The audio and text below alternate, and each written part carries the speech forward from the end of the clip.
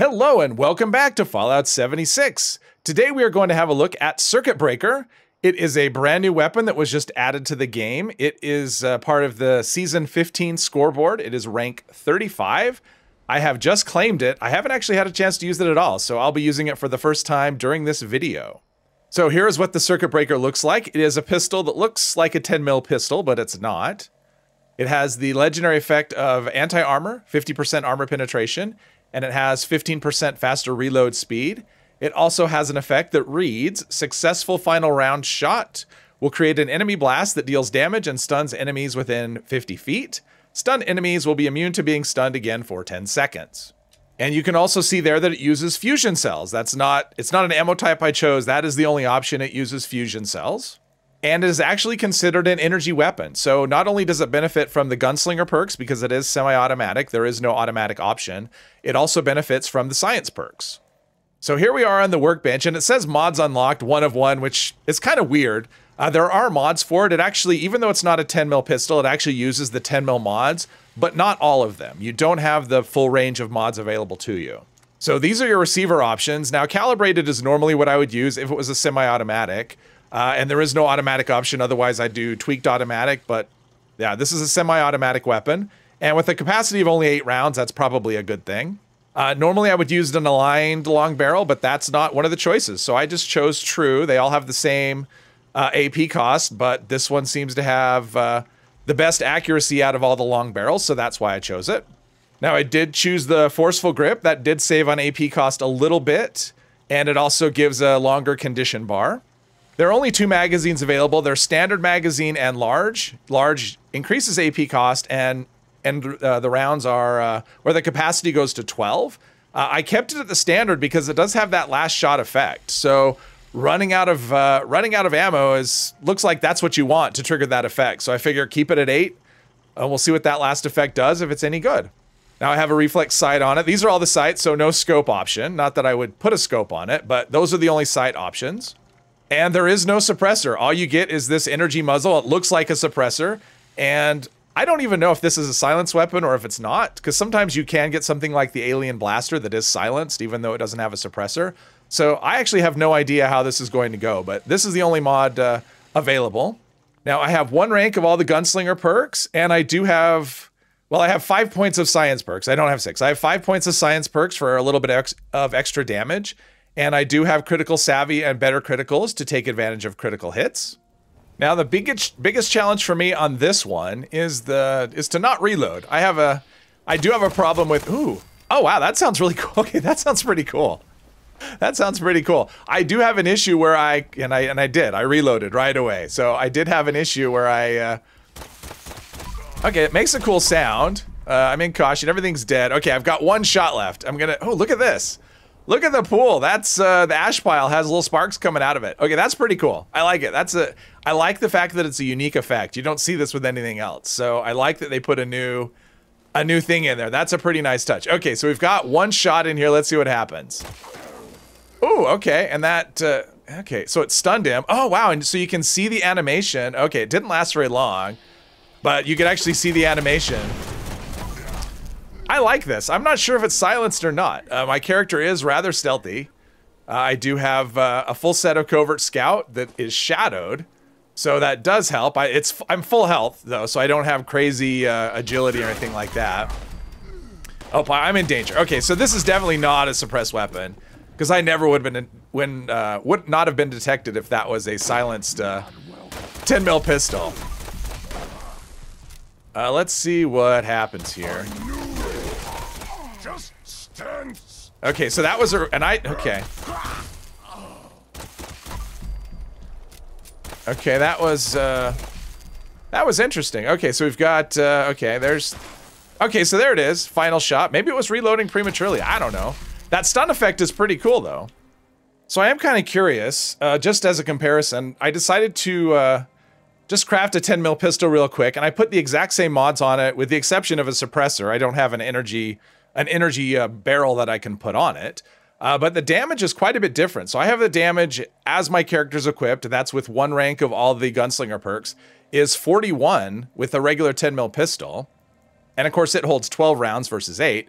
And here we have the Circuit Breaker at 68. So it's more than a 50% damage buff. So that's actually pretty good. Obviously, it can't be suppressed, but still, that's uh, that's a pretty decent damage buff if you tend to run your 10 mil pistol as a semi-automatic. And one more thing I didn't mention, that that 10 mil pistol and the circuit breaker have the exact same AP cost as configured, which is 16. So there's really no advantage there other than the ability to be suppressed. Now I'm gonna just go to the fusion cores. That is the uh, the coward's way out. Try not to reload. That is so difficult for me. That's gonna be the hardest part about this weapon is the uh, Okay, so there was a last shot. We got the little explosion. Didn't do any good because, oh, it did. We stunned this one. that's pretty cool. Pretty cool. I like it. This is this is actually pretty fun. I, I like this gun. It's just it's different. Obviously, it looks and set well. It looks like a 10 mil pistol. It has a little different sound, but having just those extra visuals make it really fun. Uh, I like that. I like that a lot. Let's see here. We got that, and and the damage seems fine. Yeah, yeah, yeah. We're coming for you. We're coming. All right. Wait. Well, maybe. Maybe. Uh, there we are. Oh, and we got the, and he's stunned, which is not, uh, that stun is actually pretty helpful, uh, especially for a pistol. So maybe you're, you're not doing as much damage as you would be with, uh, like a rifle, something like that. So having, uh, an enemy that may take a few more rounds to take out, having them get stunned for a few seconds, that could actually be pretty helpful. Uh, yeah, I guess the trick is to not reload even between. So I have four rounds. I'm just going to leave it at that. But yeah, so far this gun seems like you kind of have to adapt to it, I think. If you care about that last round effect, which seems like you should, because that's pretty, okay. I can't VATS these, or I'll show it as neutral, which is, uh, that's not frustrating at all. And there's a reload. Jeez, it's just like a habit. I don't even realize I'm doing it. I like the crackling though. That is really cool. Even so, even when they're not turned to ash, it's still, still crackling. I like that a lot. Let's see. There's some lurks way over there. Oh, Legendary King. Okay. There we go. Legendary level 60 Mirelurk King. And uh, we stunned him. We, then we get a reload. And hopefully we can kill him before... Now he's immune to stunning again. Okay, there's a king. And now I'm in danger. Yeah, this is definitely not a suppressed weapon. Not a suppressed weapon at all. Okay, so...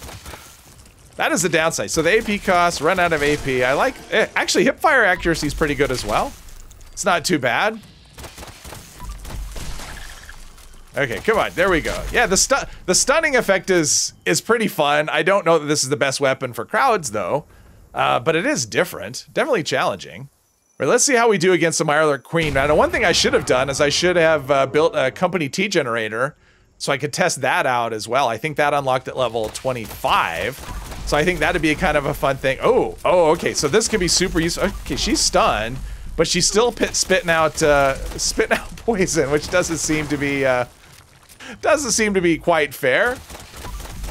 But we're still getting the job done for the most part. Yeah, she's uh, she's coming for me, and she'll do a whole ton of damage. Ah, okay. Uh, I guess I have Born Survivor equipped. That's good. I didn't realize that I had that equipped. Uh, where is she? Probably from the last time when I fought her with a, a black powder rifle. So the stun, yeah, the stun is really useful against a big enemy like this you need it when you're not doing as much damage. You definitely need that, but that's actually pretty cool. So now I want to find out what happens if I stun something that's flying. Of course, timing that last round so you're actually uh, stunning something in the sky. Well, if I waste a bunch of ammo, there we go. Because I can't hit anything manually aiming. Uh, you know, in theory, it should just fall right out of the sky. Okay. I'm too stealthy. No, I'm not. I'm in danger. Okay, they're, they're, uh... Oh, and there's ghouls. Okay, so having other enemies isn't helping. That's distracting her.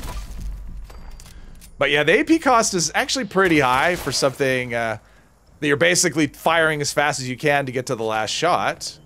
Uh, something shooting at me. There we go. There's that one. Okay, I got one shot left.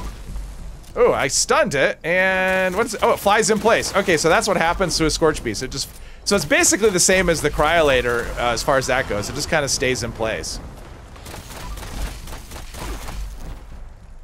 Okay, that was a, uh, I wonder if it has to be a kill on a last round. I wonder if that's the deal. So I have to kill one enemy with the last shot, and then it'll stun all the other enemies. No, because I stunned the Scorchbeast, so no, that's not it either. It just doesn't seem to Or maybe I'm just reloading and I'm not realizing it. I'll notice when I'm editing the video. Could be I'm just reloading without uh, Born Survivor. I didn't know that I had it equipped, so uh, which means I don't have sneak going. So that's probably why I'm not stealthy. Still shouldn't matter though. Definitely doesn't feel like the most powerful gun. Even though a 10 mil does less damage, it does feel like it might have taken it down by now. I'm not sure. Oh, though I'm not doing sneak attacks. That's I guess that's the big thing. I'm not doing sneak attacks, so it's a lot less damage. Something keeps shooting me. I have no idea where these shots are coming from. So I've taken off Born Survivor and put Sneak back on. Let's see if I can do, uh, if I can finish him off in Stealth. Uh, well, still in Caution. That's a good sign, and he is stunned. So yeah, there we go. So it's it's not a silence weapon, but it definitely uh, definitely benefits if you can stay in stealth. And there you have it, a early look, kind of a quick look at the Circuit Breaker. It's uh, first time I've used it. Uh, I think this is pretty fun. It's got uh, an interesting look, uh, at least with that barrel, that little energy energy pulse going through the barrel, and I like what it does to the corpses. That uh, kind of lightning effect on corpses or ash piles. Uh, the stun effect is fun. I think this is going to be a case where I'm going to have to kind of train myself how to use this weapon the most effectively, but I definitely look forward to playing with this a lot more. Hopefully you enjoyed this video. If you did, please hit one of the buttons down below, and I hope you'll join me in the next one. Thank you very much.